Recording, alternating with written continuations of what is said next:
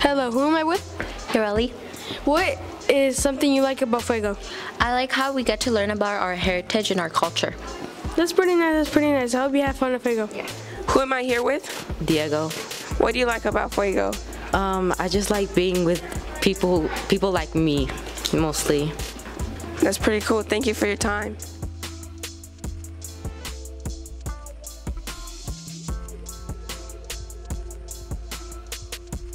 Am I here with? Alexia, What do you like about Fuego? I like like the prizes and the games that we play. Thank you. Quítate de acá.